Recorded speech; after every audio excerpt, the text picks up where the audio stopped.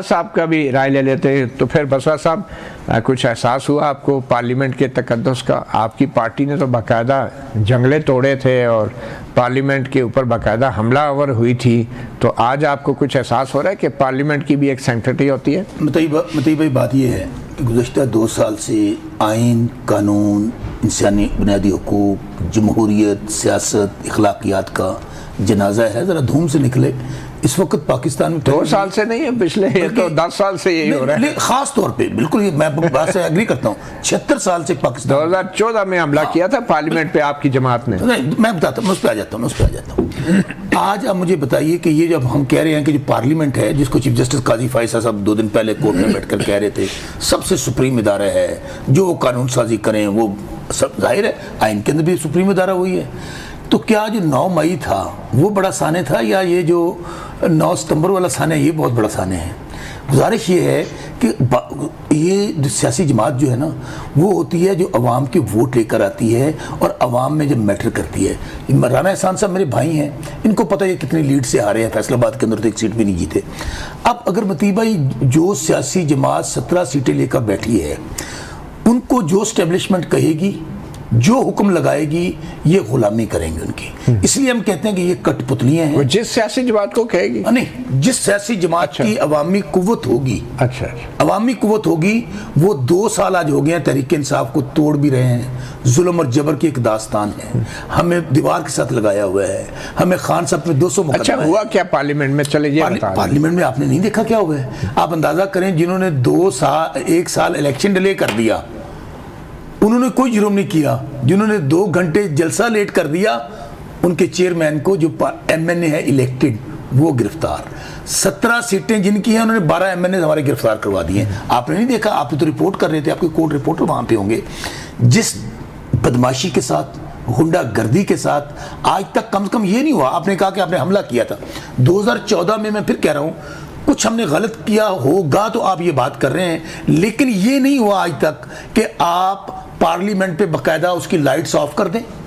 वहाँ पर नकाब पोश अंदर दाखिल हो जाएँ और वहाँ पर लोगों को घसीट घसीट के हमारे कैमने हैं के पी के, उनको मस्जिद के अंदर से गिरफ़्तार करके लेके गए हैं। अब मुझे बताइए कि अभी मुझे भाई मुझे कह रहे थे, अगर कुछ हुआ तो हम एक्शन लेंगे। ਤੁਸੀਂ कख नहीं कर सकते राणा साहब। इस वास्ते जिन्होंने कुछ पल्ले होंगे ना, वो करते हैं आप लोग मियाँ, आपको जो मियाँ शबाज शरीफ, डिग्गी वाली सरकार है, जो खुद हारे हुए हैं। मियाँ नवाज़ शरीफ अगर हारा हुआ है, डॉक्टर मरियम डॉक्टर यासमीन से, मरियम बीबी हारी हुई है, आपकी तो सर्वाइवल ये है कि जो वो आपको हुक्मनामा जारी करें आप मनो मनोअन उसको तस्लीम करें तो आपने सोची समझी प्लानिंग के ताबे ये निज़ाम तो पहले डिस्क्रेडिट हो चुका है। ये रवायत तो आपने रखी थी ना ये 2014 में? देखें हुक्मनामे के ऊपर अमल कौन कर रहा था? राइट शरीफ था जनरल पाशा थे जनरल जहीरुल इस्लाम थे अच्छा क्या थे? ये कहा गया कि इमरान खान को जहीरुल इस्लाम लेकर आया जनरल पाशा लेकर आया फिर जनरल फैज अभी पार्लियामेंट पे रहते हैं आपने हाँ भी कह दिया ना जी जी। 2024 सन कौन लेके आया है? आप बताए ना आप इतने जहाँ दीदा साथ जब हर चीज़ हमारे खिलाफ है हम्म। तो अब कौन लेकर आए चले जी माजिद निज़ामी साहब ये कैसा निज़ाम है? चीफ मिनिस्टर खैबर पख्तनखा अली अमीन गंदापुर धमकियाँ लगाते हैं और अफ़गानिस्तान से आने वाले दहशत गर्दों के हमलों के हवाले से कहते हैं कि उनके बच्चों पे हमले होंगे। तो फिर यही होगा। ये अली अमीन गंडापुर की तकरीर को आप कैसे देखते हैं? बतौर एक सहाफ़ी, बतौर एक तजिया नगार और आप समझते हैं कि ये तकरीर वाकई इतनी सख्त थी कि इसका रद्द अमल भी बहुत ही गैर मामूली और गैर आइनी होना चाहिए था। बहुत शुक्रिया। मुझे लगता है कि तहरीक इंसाफ का जलसा एक कामयाब जलसा था, अगर उसके अंदर ये तकरीर ना होती। और उसका एक बहुत इम्पैक्ट आना था। पंजाब के अंदर एहतजाजी तहरीक को ज़ोर मिलना था और जिस तरह लोग तो कर रहे थे कि पंजाब और इस्लामाबाद के अंदर एक एजुटेशन होनी चाहिए, एहतजाज होना चाहिए, जिससे मरकज पर एक दबाव बनेगा। ये उसका नुकता आगाज़ था, लेकिन उस पूरे कामयाब शो को उस एक तकरीर ने मैं समझता हूँ कि ख़राब कर दिया। और उसके अंदर हद से ज़्यादा आगे बढ़ के बातें की गई नाजेबा अल्फाज इस्तेमाल किए गए बदजुबानी की गई।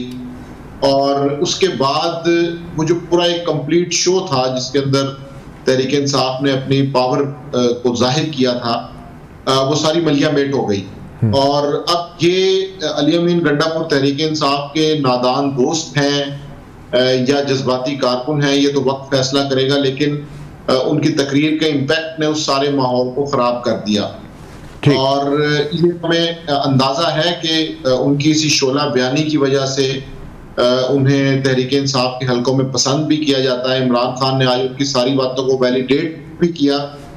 जिससे ये पता चलता है कि पार्टी इस वक्त एग्रेसिव स्टांस पे है और उन्होंने अखलाकियात की या जो हदूद हैं जो मुरबजा रवायात हैं उनको भी किसी हद तक पसे पुश डाल दिया है।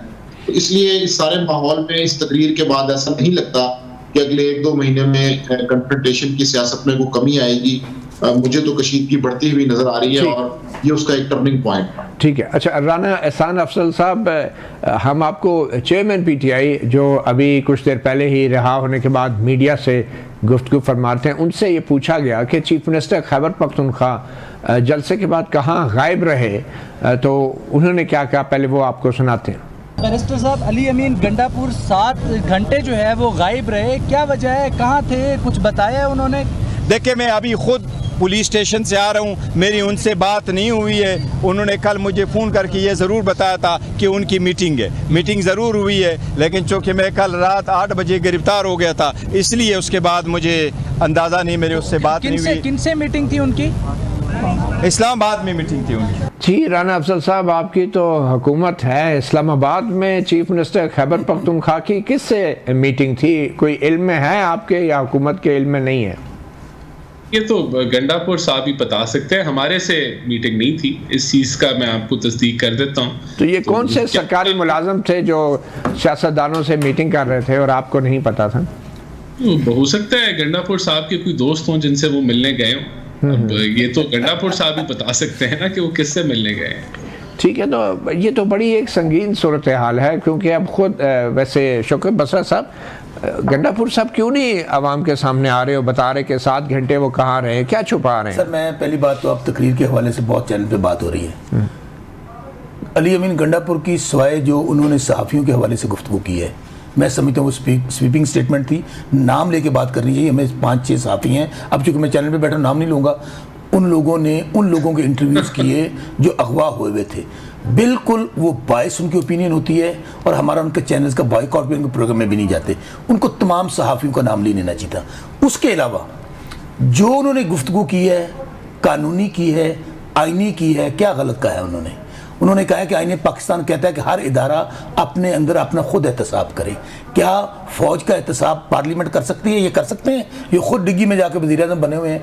मुझे एक बात बताइए कि आ... मैं एक सेकंड ये बड़े मैं, मैं, मैं बहुत एक बात कहनी है। इन्होंने मैं इन्होंने जाने फिर वापस आपके पास आऊँगा। राना राना अफजल साहब। राना साहब से मौजूदगी कहना चाहना मैं। राना अफजल साहब नहीं वो तकरीर की सुनने मेरी एक बात सुनने।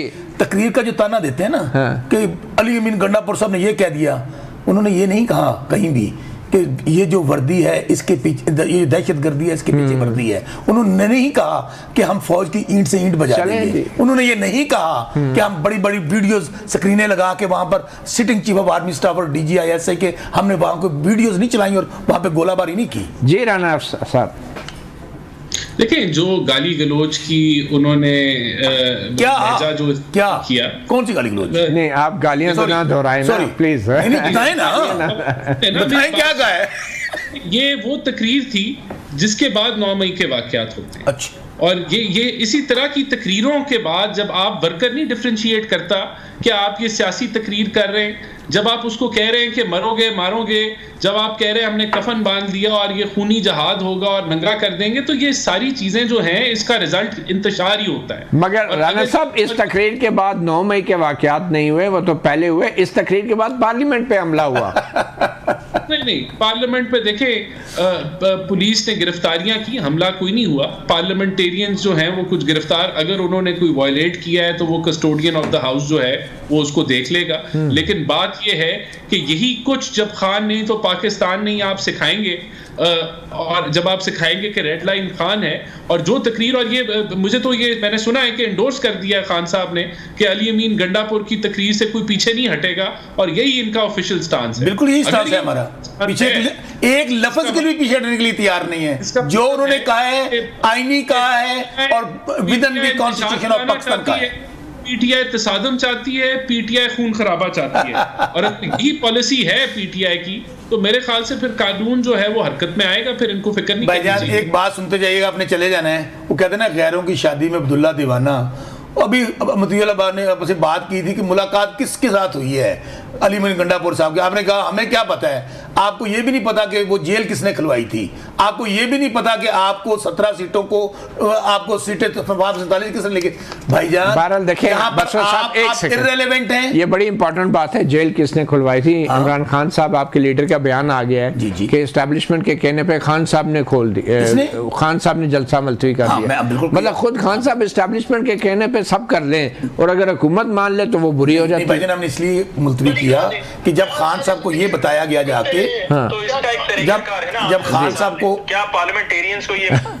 जब खान साहब को ये बताया गया कि जी वहाँ पे एक तरफ़ क्रिकेट मैच हो रहा है दूसरी तरफ़ खत्म नबूबत का मामला है मजहबी जमातें आई हैं खून खराबा होगा दूसरा नौ खान साहब बताइए बताइए नहीं नहीं और फिर क्या किया? उसी दिन मतीला भाई हमारे पास लेकर आए 22 तारीख का एनओसी सॉरी 8 सितंबर का एनओसी लेकर आए। ठीक है। वो एनओसी था या एनओसी ना करने का एनओसी था वो?